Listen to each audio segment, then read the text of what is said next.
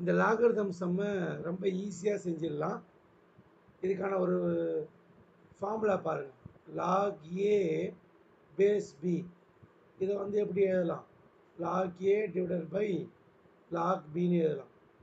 இந்த ஃபார்முலாவை அப்ளை பண்ணி இந்த கொஷினுக்கான ஆன்சரை ஈஸியாக செஞ்சிடலாம். ஸோ அப்போ லாக் ஃபைவ் பேஸ் த்ரீயை log five divided by log த்ரீன்னு எழுதலாம்.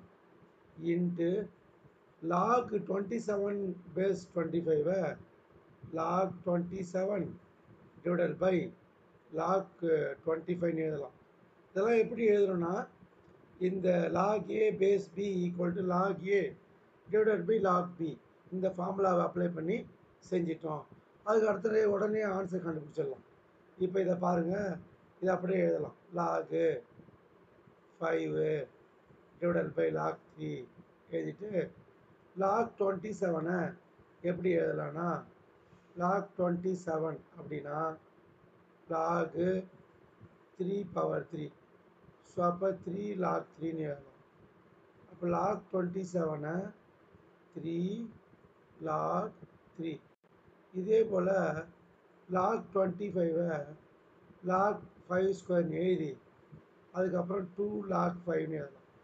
Logarithm property of log twenty ஃபைவை லாக் ஃபைவ் ஸ்கொயர்னு எழுதிட்டு அப்புறம் by property of log logarithm log five ஸ்கொயரை டூ லாக் ஃபைவ்னு எழுதலாம். ஸோ லாக் டுவெண்ட்டி ஃபைவ்னா டூ லாக் ஃபைவ் அதுக்கப்புறம் என்னெல்லாம் கேன்சல் பண்ணலாம் பாருங்கள் log five log five cancel log three log three cancel அதுக்கப்புறம் கிடைக்கிற ஆன்சர் என்னன்னு பார்த்தாலே தெரியுது. த்ரீ பை டூ இப்போ இது ஆல்டர்னேட்டிவ் சொல்யூஷன் புக்கில் ஒரு மாதிரி கொடுத்துருக்காங்க. அதையும் தெரிஞ்சுங்க இந்த லாக் ஏ பேஸ் பின்னா log A divide by log B இதை வந்து இப்படி எழுதலான்ற அடிப்படையாக கொண்டு கொடுத்த கொஷினை நம்ம எளிமையாக ஆன்சர் கண்டுபிடிச்சிட்டோம். இதையும் தெரிஞ்சு வச்சுங்க தேங்க்யூ